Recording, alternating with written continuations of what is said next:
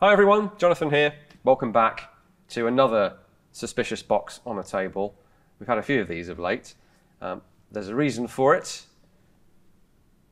Yes, more dueling pistols. Uh, yet again, I do my scare quotes because um, if you if you haven't seen our previous video on dueling pistols, the short version is dueling pistols are a thing. It's not that dueling pistols didn't exist.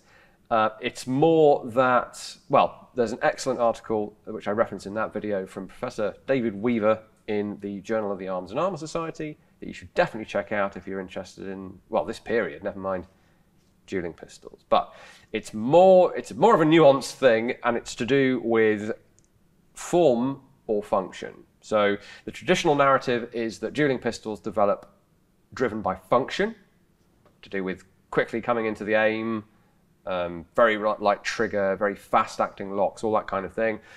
Well, um, David has argued, I think convincingly, that basically all the, all the features of a dueling pistol are just useful features for a pistol and it's much more of a stylistic thing. The switch from the, new, the uh, Rococo style holster pistol to the neoclassical style dueling pistol, and it's only from 1785 that we get the term dueling pistol actually used, or at least written down, as far as we know. So from 1785 onwards, dueling pistols are a thing, but here's where a slightly tortured analogy might help. I think of this a bit like sports utility vehicle. You don't necessarily, in fact, you almost certainly don't, go out to buy an SUV because you want to go and carve up some mud off road. You buy it because it's the current fashion of car. That's my take, for what it's worth, on the reality of the dueling pistol. However, there's a very important caveat to that. Uh, well, firstly, if we happen to know that somebody had purchased uh, pistols with an eye to dueling with them, rather than self defense, rather than target shooting, um, or, or, any other purpose you might think of, obviously that would be evidence for a, a, a dueling style pistols that were definitely used for dueling or intended to be used for dueling. It, there are, I think, a couple of provenance sets out there that we know belong to someone who actually fought a duel, which is the ultimate in dueling pistols. And then there is a technical feature that really does tell you this person, at the very least, wanted or wanted to be prepared to fight a duel, and that is hidden rifling or secret rifling. And I mentioned it last time, and I said at the time I had never seen, I think I, I referred to it as scratch rifling. Um, not that I doubted W.W. W. W. Greener, who wrote the book The Gun, the very aptly named book, The Gun. Um, 1835, or that edition, he actually mentions scratch rifling, and he mentions it as being very much a thing that uh, the Mantons, John and Joseph Manton, were known for, so a couple of decades before, or maybe a bit less than that. Uh, but he mentions it as a thing that was done in the past to conceal rifling, because the rules of dueling said you couldn't use rifling. But if you wanted to live, you might want to use the rifling, have the rifling in the gun. So you would conceal it. Now, two ways of doing that. One is the scratch rifling that Greener mentions, and apparently the Mantons did do that. I've still yet to see scratch rifling myself, but that's just because our pistols don't have it.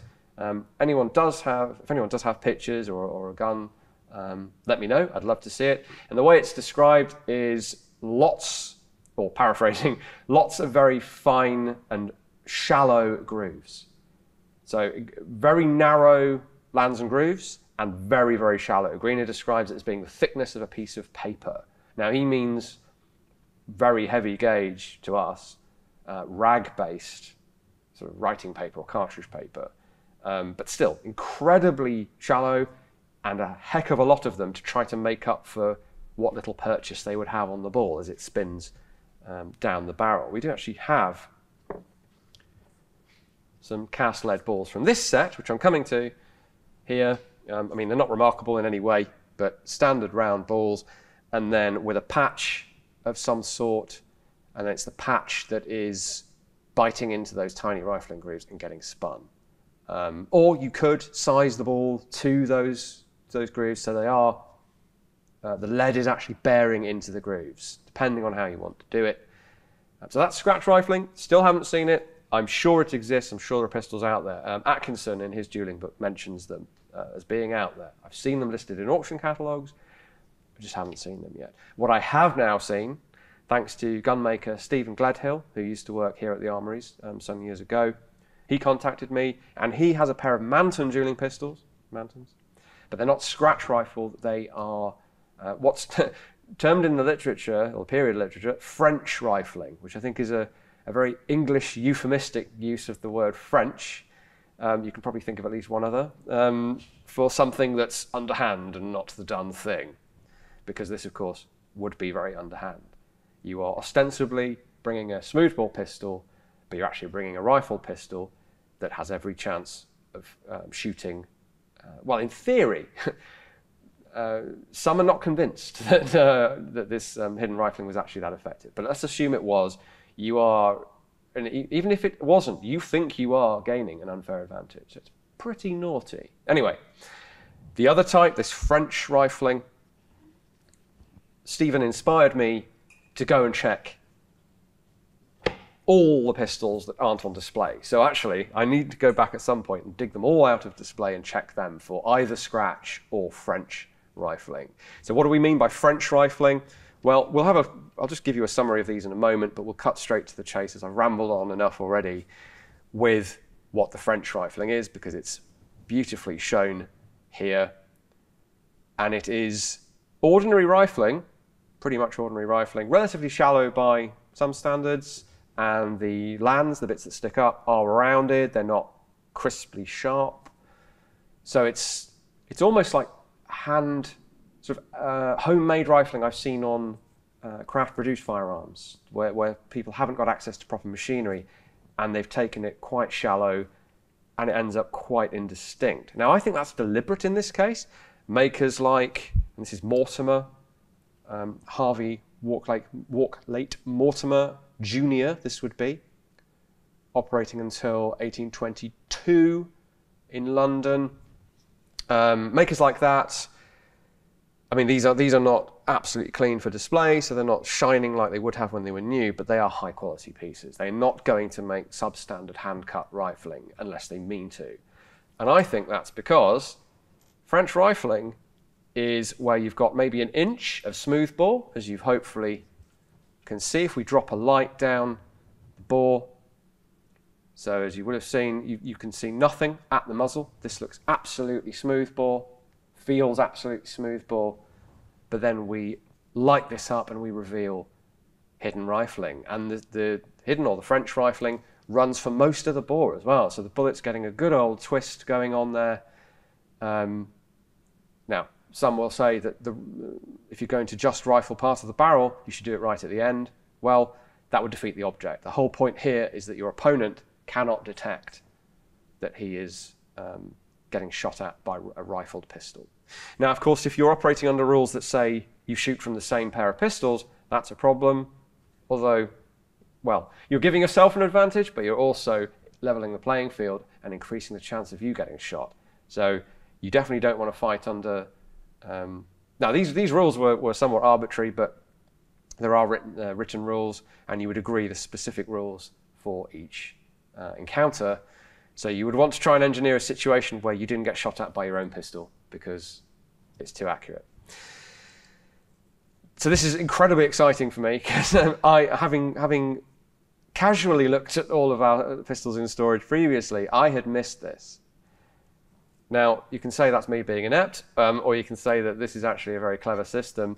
Now, with gloves on, they're, they're very thin gloves. These are designed, rather than those cotton ones we, we used to wear, uh, that you can still have some sense of touch, so it's less, you're less likely to drop stuff, break stuff. That's the whole idea of these. So, and I can feel the grooves, but if I, if I was just thinking, hmm, I've heard of this secret rifling thing, I'm just going to, you mind if I just now, of course, if you do that in front of this other gentleman, he might bluster and say, "How dare you call me into call my, my honor into question? We're going to fight another duel after this one," and it just goes on forever. Um, so I don't know how that would actually pan out, but in theory, if you did catch a sneaky uh, check, it's possible you'd miss it. If you didn't know about secret rifling and you just went, mm, "Don't trust this chap," uh, yeah, well, nothing there, all good. Actually, there it is inside probably doing its job. So um, I will double check at some point uh, our pistols on display, especially the Mantons, to see if we have any scratch, so-called scratch rifling as well. Um, the pistols themselves, uh, they are they're percussion, as you can see. So they have those dolphin slash sea monster hammers that we've seen quite recently, actually. Um, this this little guy looks like he's got little fangs almost. So maybe not a dolphin. Not seeing too many vampire dolphins um, in the oceans. They're early percussion pistols. As I say, um, H.W. Mortimer and Son were only operating at this address, which is pleasingly on the trigger guard here, 89 Fleet Street, London. They are only listed there until 1822, which gives us a fairly hard date for this because percussion caps of this nature that would have fitted this system, the classic, possibly Joseph Egg, possibly um, the Frenchman Prelat invented, are only around from about 18, well, 1818 is when they're invented. They're only really available commercially about 1820. So this is the cutting edge of, and we know it's bought for dueling, the dueling pistol for 1822-ish. Thanks so much for watching, guys. Um, as always, you can come and visit one of our three museums here in the UK, but if you can't do that, we have our digital options. We have Facebook, Twitter, and Instagram that you can check out. Uh, worth keeping an eye out for any upcoming events on there. And you can still donate to us if you'd be so kind as to do that. We will have a link in the description.